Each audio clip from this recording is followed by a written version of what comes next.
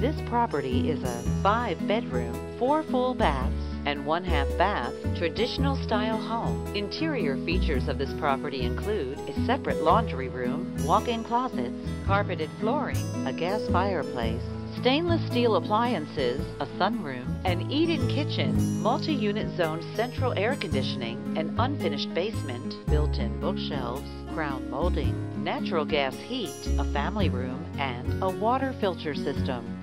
On the outside, this property features an attached garage, a fenced yard, and a patio. The approximate square footage is 3,390 square feet. This property is represented by Joy Daniels from the Joy Daniels Real Estate Group.